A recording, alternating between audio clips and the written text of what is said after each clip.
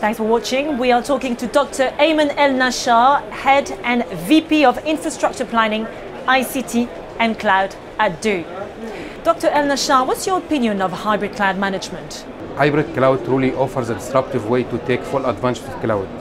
Cloudification is a major thrust area for telcos such as us. It is a great example of how telcos can be innovative and offer new services. Adoption of hybrid cloud is increasingly gaining traction and looks very promising. Having the right partner is very, is very important and we are glad that we choose HPE. The increased adoption of public cloud by enterprises has led to the growing popularity of hybrid cloud. So, what are the benefits of a hybrid cloud management platform?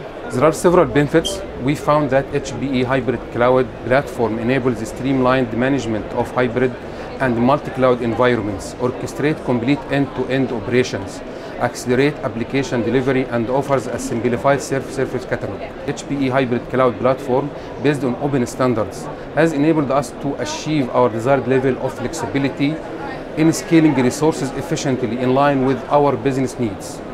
Our tie-up with HPE will help us master any cloud, any environment, and any new technology while accelerating time to market for application innovation and avoiding vendor lock-in. Dr. El Nashar, thank you very much. Thank you.